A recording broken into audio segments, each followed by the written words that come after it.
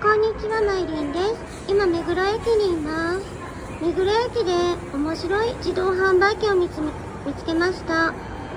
コーヒー1杯450円と結構お高めなんですけれども、アプリをインストールすると、初回コーヒー1杯無料になるので、注文してみました。